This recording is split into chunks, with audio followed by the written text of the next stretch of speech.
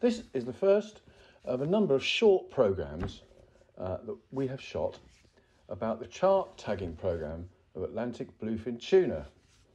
Uh, this has been set up by DEFRA and Cefas in partnership with the Bluefin Tuna campaign and 15 licensed charter skippers based along the south coast of England. And they range from St Ives in Cornwall all the way up to Rye East Sussex. Business clusters and ELS are part funded by the European Social Fund.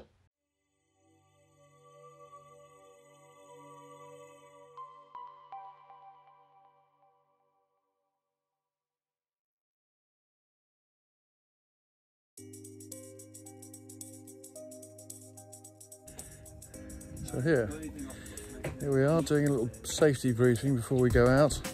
We're at Mylor down in uh, Cornwall. We're off do some tuna fishing. And uh, we've got a bit of fog in the bay. So hopefully the sun will burn that off before time. We're looking forward to it. It's going to be great fun. And let's hope we get a tuna. More later.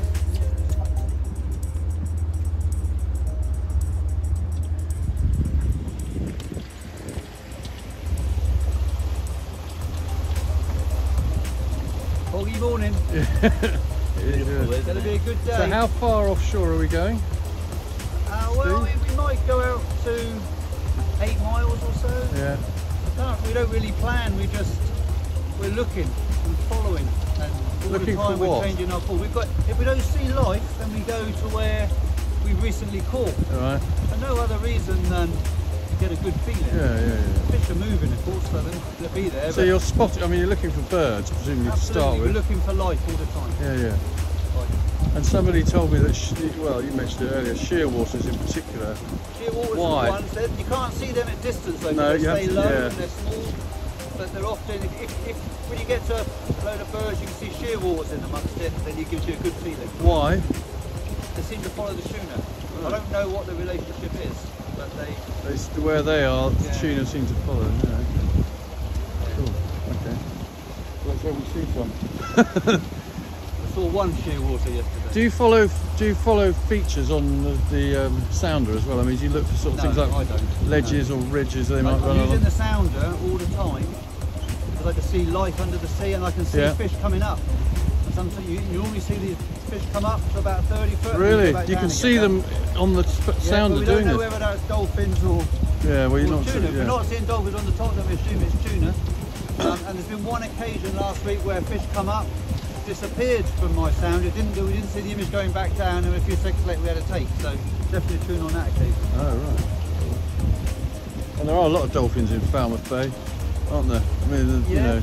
And dolphins are life, so if we see dolphins, we'll go for the dolphins. However, if we find life without dolphins, we seem to get more tuna hookups. Really? Yeah, I, I, Interesting. In the series, we're going to focus on all aspects of catching bluefin tuna. The science, the tackle, the techniques, the fight, the preparation, and of course, the fishing itself.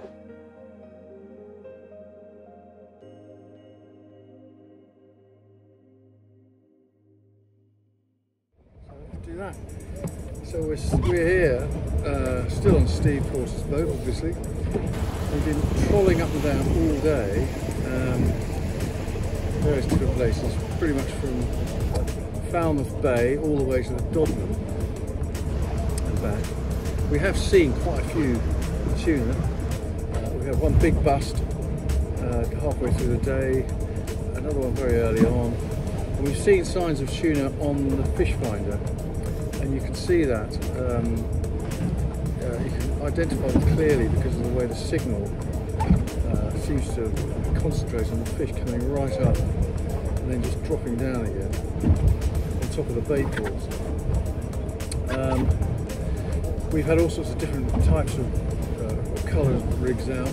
We've had a couple of takes uh, when we went through a bust, but it's been quite frustrating for everybody because we know the fish are down there, we think they're very deep and they're just not coming up uh, high enough in the water column to take our trolled that over 50 tuna have been caught and tagged and released already and we've only got what barely two weeks three weeks maybe into the program. In fact there have been at least three I think other fish caught today and hopefully as the light fades uh, the tide is slackened off quite a bit um, we're hoping we'll get something we have to go in uh, at dusk now the, the, there are a lot of dolphins out here. We've been encountering them all day, uh, and either been gambling around under the boat or I've been fishing, uh, concentrating on their fishing. Uh, you can see the way that they hunt. So it's been first a, number of days, I think, down here doing this, um, and certainly by the time we finished filming for this uh, series of videos, we will have had a fish on the boat while I've been So let's that happens. The fishing was pretty tough for the day. Um, although we saw a good number of fish in two separate bursts, it was clear that they're hugging the bottom. Catching them would have been easier using live bait, I think, but of course we're not allowed to use that method.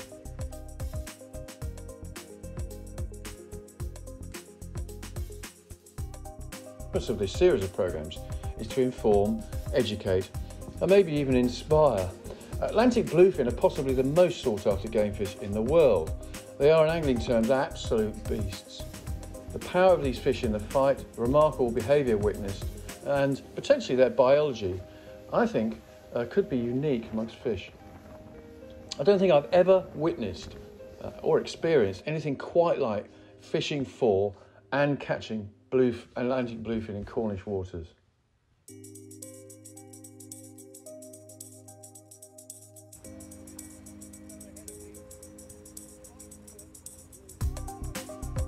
The arrival of these incredible animals in British waters, or should I say the reappearance, because as everybody knows, they were regularly caught between the 1920s and the 50s, and famously attracted film stars, writers, playboys, celebrity anglers.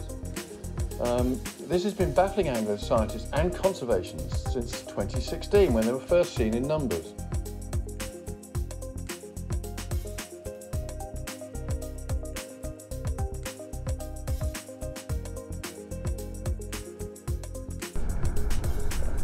CHART is an acronym for Catch uh, and Release Tagging. It's a program which involves recreational anglers being deployed upon specifically licensed and authorised charter vessels to catch and tag bluefin tuna in a controlled, regulated environment. There was a lot of preparation involved in setting up and running the CHART program. It really isn't just about jumping in a boat and going fishing. The plan for the programme is built around clear guidelines on gear, skipper requirements, vessel licensing criteria, monitoring uh, and reporting obligations, of course protocols for catching and then managing the recovery of the fish boat side across the three month season. I'd like to thank Steve Porter and his crew uh, for being so welcoming and letting us film on his boat uh, and of course the angler who was there as well. It was a fabulous day. Uh, I really enjoyed it, and uh, there are many more of these to come.